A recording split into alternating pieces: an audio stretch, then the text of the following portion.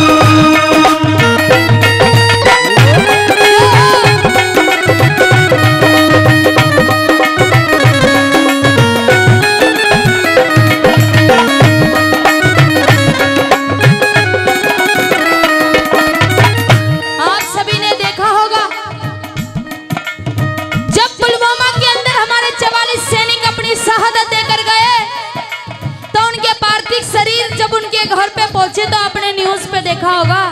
बड़े बड़े नेता बड़े बड़े मंत्री इनके प्रवक्ता बैठकर भाषण दे रहे थे कि क्या हुआ नौजवान मर गया। अरे सीमा सेना में भर्ती नौजवान मरने के लिए होता है। किसी ने कहा कि क्या हुआ नौजवान मर गया? हमारी सरकार ने पाँच लाख रुपए दिए एक नौजवान की कीमत। क्या बात है? दूसरे प्रवक्ता ने कहा कि अगर तुम्हारी सरकार ने पाँच दिए हैं तो हमारी सरकार ने आठ लाख दिए हैं। क्या बात तीसरा बोला अगर तुम्हारी सरकार ने पाँच और आठ दिए हैं तो हमारी सरकार ने दस लाख दिए हैं। मैं आप सभी से पूछना चाहूँगी और सच्चा दिल से हाथ हिलाकर बताना कि क्या हमारे देश के एक नौजवान की कीमत पाँच या आठ या दस लाख रुपए है? नहीं है। जवाब दिया उनको और कहा कि अरे नौजवानों की कीमत लगाने वालों तुमने दस दस लाख दिए हैं सैनिक की विधवाओं को। दस लाख रुपए देकर ये समझते हैं कि जैसे एक औरत का पति वापस कर दिया हो, एक माँ का बेटा वापस कर दिया हो, कि तुमने दस दस लाख दिए हैं सैनिक की विधवाओं को और मानो कीमत लौटा दी है वीर परसुता माओ को। तो लो तो लो, मैं बीस लाख देती हूँ। अरे तुम किस्मत के हेटो को अरे हिम्मत है तो मंत्री भेजो, लड़ने अपने बेटों को हिम्मत है तो मंत्री भेजो। लड़ने अपने बेटों को। जब खुद का बेटा सीमा पे जाके यहाँ सीने पे गोली खाएगा ना और जब देश के लिए शहादत देगा जब पता चलेगा कि एक बेटे का दर्द क्या होता है एक बेटे की कीमत क्या होती है। किस तरह से कहा कि जो औरत जिन्होंने अपनी मांग का सिंदूर खोया हो जिस बहन के लिए कलाई बाँध राखी बांधने के कोई कलाई ना बची हो, जिस माँ बाप का बुढ़ापे का सहारा न बचा हो, और जिस बच्चों के सर पे से बाप का साया उठ गया हो उनका दर्द तो उन्हीं को पता है कि एक पिता का दर्द क्या होता है, एक भाई का दर्द क्या होता है। जब इतनी बात एक फौजी की माँ ने सुनी तो एक फौजी की माँ की आँखों में आँसू नहीं रुक पाए, और एक संदेश एक चिट्ठी में लिखकर भेजा कि अरे नौजवानों की कीमत लगाने वालों गौर से सुनना, ये लाइन अच्छी लगे तो तालियाँ चाहूँगी सभी की। एक माँ ने अपना दर्द बया किया और कहा कि सुख भरपूर गया, मांग का सिंदूर गया। सुख भरपूर गया, मांग का सिंदूर गया। नन्हे नो निहालों की लंगोटियाँ चली गई। सुख भरपूर गया, मांग का सिंदूर गया। नन्हे नो निहालों की लंगोटिया चली गई।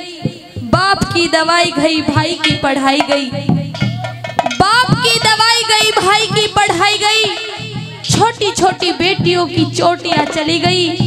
अरे, ऐसा विस्फोट हुआ पुलवामा के अंदर। ऐसा विस्फोट हुआ पुलवामा के अंदर। इस जिस्म का पता ही नहीं, सारे जिस्म की ये बोटियाँ चली गई। अरे, नौजवानों की कीमत लगाने वालों, आपके लिए तो एक आदमी मरा है, साहब। लेकिन मेरे घर की तो सब रोटियाँ चली गई।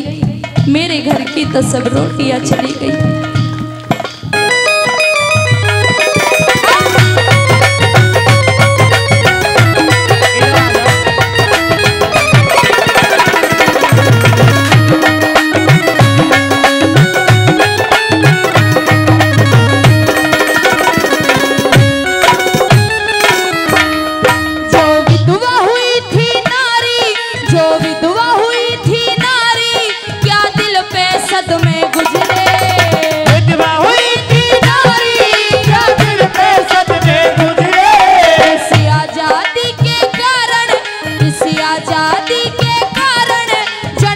जन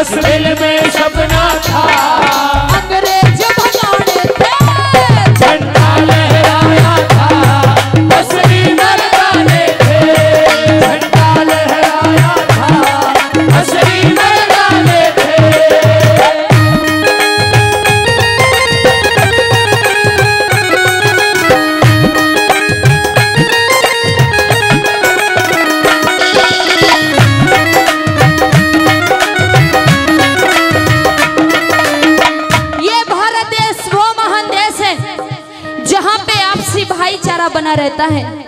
जहाँ पे शाकाहारी खाना है, जहाँ पे ये खादी की वर्दी है। लेकिन आज के समय में कुछ भ्रष्टाचारी नेता देश को खराब करने का काम करते हैं। इसीलिए कहा कि कैसा ये देश है? धरती सुनहरी अंग